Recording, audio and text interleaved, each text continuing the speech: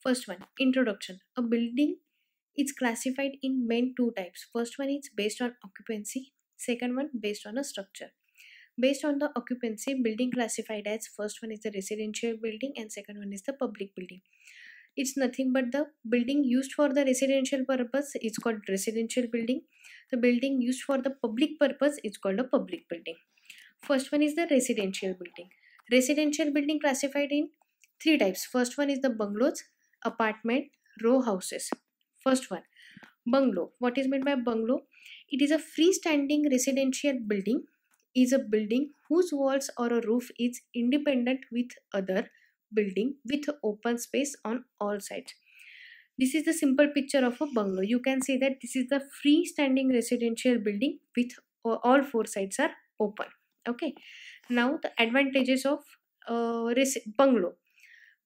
Uh, lights and a ventilation can be properly used. Next one, individual space for a future expansion. Next one, more safety than apartment and more space to utilization. Then the disadvantages of bungalow higher in a cost. This next one, this is the simple picture of a apartment. What is meant by apartment? Apartment is unit of two or more rooms providing accommodation for one family. Next one, generally each apartment contains 3 to 4 rooms with usual amenities. Next one, in multi-storied building, 3 to 4 flats are provided at each story with one common centralized staircase. Okay, this is the simple description of a apartment and it's called the apartment. Okay, what are the advantages and disadvantages of apartment? First one, advantages. More population can be accommodated in limited area. And second one flats are cheaper than the individual bungalows. Okay. Disadvantages of apartment privacy of individual family get disturbed. Second one limitations of space. And third one difficulties in individual rights. Okay. Now row houses.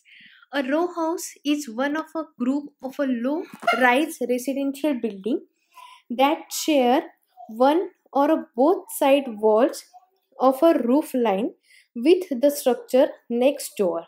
Okay. Then a row houses is a single family dwelling unit which is arranged in a row with other dwelling units attached to each other by common wall. Okay. This is the simple picture of a row. You can say that all the structures are look like a similar and that's why it's called the row houses with a same structure. Okay. What are the advantages of row houses? Always trending next one faster in construction. As all the structure or a plan is the same economical and maximum privacy. Disadvantages orientation and ventilation is to be compromised because row houses are connected with each other or sometimes the wall of both uh, plants is the is same. That's why okay?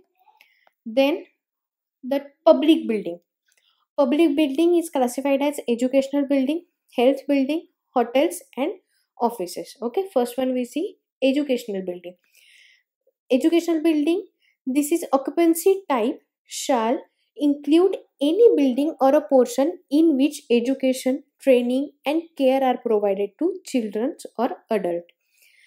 Subdivided into means educational building is subdivided into first one is higher secondary level, second one is training center and above secondary level, and third one is a preschool.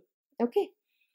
Then health building under this occupancy group shall include those used of a purpose of providing medical care, diagnostic facilities, and treatment to persons suffering from a physical discomfort, in which sleeping accommodation may or may not be provided.